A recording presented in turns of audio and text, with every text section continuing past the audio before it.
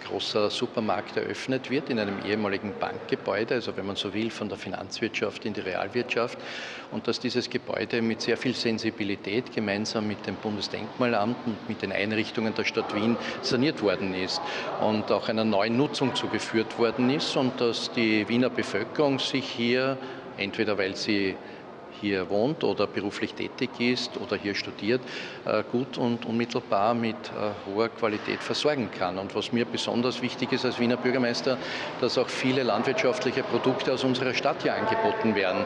Also dass das Regionalprinzip sehr stark äh, umgesetzt wird und dass viele der insgesamt 645 Unternehmen, die in Wien landwirtschaftliche Produkte erzeugen, hier die Möglichkeit haben, diese auch zu verkaufen. Ja, erfreulicherweise sind die Zahlen jetzt sehr stabil. Die Zahlen in den Spitälern, die Sieben-Tages-Inzidenz. Das ist auch Erfolg unserer gemeinsamen Anstrengung rund um Ostern mit äh, den Sicherheitsmaßnahmen deutliche Schritte zu setzen, um die Zahlen zu reduzieren. Sie können sich erinnern, das war nicht unumstritten. Ich bin da durchaus auch kritisiert worden, aber es war völlig richtig, weil wir jetzt äh, auf einem guten Weg sind. Das heißt aber nicht, dass wir aufhören sollten, vorsichtig zu sein, denn es gibt äh, Mutationen, die aus anderen Ländern importiert werden. Und ich kann mich noch gut erinnern, wo vor ziemlich genau einem Jahr gesagt worden ist, wir haben die medizinische Krise überwunden, wir können uns jetzt den wirtschaftlichen Auswirkungen zuwenden. Und wir haben gesehen, dass es dann nachher wieder nach einem tiefen Tal einen sehr starken Anstieg der Krankheitszahlen gegeben hat. Ich will damit sagen, wir freuen uns alle sehr über diese Öffnungsschritte und ich bin viel unterwegs, um auch äh, diese Öffnungsschritte mitzuerleben. Aber wir sollten uns trotzdem bewusst sein, dass die Pandemie nicht überwunden ist und bestimmte Sicherheitsmaßnahmen trotzdem noch erforderlich sind.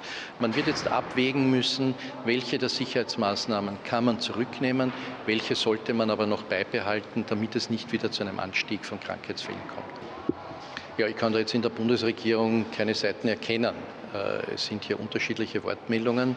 Äh, es ist vereinbart, dass wir kommenden Freitag äh, eine gemeinsame Aussprache haben, die Mitglieder der Bundesregierung mit den Landeshauptleuten und dass wir dort die weitere Vorgangsweise besprechen und auch beschließen.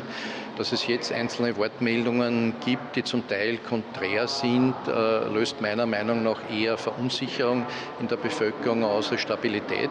Also es wäre, und das war immer meine Meinung, notwendig, dass wir alle an einem Strang ziehen in der Politik, dass wir besprechen, wie die Rahmenbedingungen sind und das dann gemeinsam nach außen kommunizieren. Aber diesen Wettlauf, wer was schneller kommuniziert, welchen Öffnungsschritt, welche Maßnahme, halte ich für kontraproduktiv. Ja, lieber wären wir natürlich bundeseinheitliche Maßnahmen, aber die müsste man halt dann vorher auch gemeinsam besprechen, bevor man sie äh, in der Öffentlichkeit präsentiert.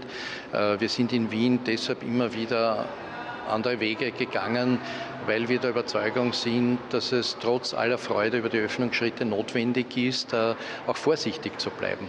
Und wir haben beispielsweise jetzt eine Verordnung verabschiedet, die vorsieht, dass die Mitarbeiterinnen und Mitarbeiter in der Gastronomie dieselben Testungen äh, umsetzen wie die Gäste, die in eine gastronomische Einrichtung kommen. Denn es leuchtet ja nicht ein, warum die, die kurzfristig in einem Lokal sind, eine, äh, wenn man so will, schärfere Teststruktur haben als jene, die dort langfristig äh, als Mitarbeiterin oder Mitarbeiter tätig sind. Das wird auch von der Gastronomie so angenommen, weil die wissen, nichts wäre schlimmer, als wenn wir uns wieder mit steigenden Zahlen auseinandersetzen müssen und wir dann manche Schritte wieder vielleicht zurücknehmen müssen. Ich halte es für sehr vernünftig. Äh, wir besprechen das das auch mit den Sozialpartnern in Wien. Und ich glaube, es ist ein so kooperativer Geist, dass man sagt, man bespricht es zuerst miteinander und präsentiert es dann in der Öffentlichkeit, dass das sinnvoller ist als das, was wir derzeit auf Bundesebene erleben.